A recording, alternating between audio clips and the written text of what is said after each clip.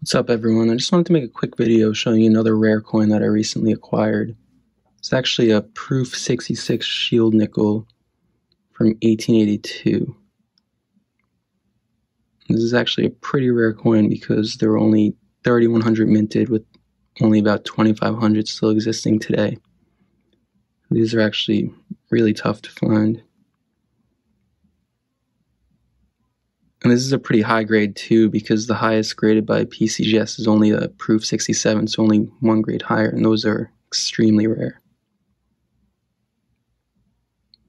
It's a little bit of toning on the obverse, but not a lot.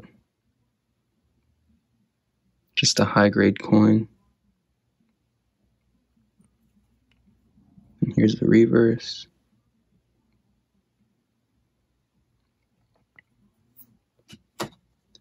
So yeah, I just thought that was a really cool find and I wanted to share it with you guys. Um, if you enjoyed this video, please give it a like. And if you want to see more videos like this in the future, please consider subscribing. Thanks.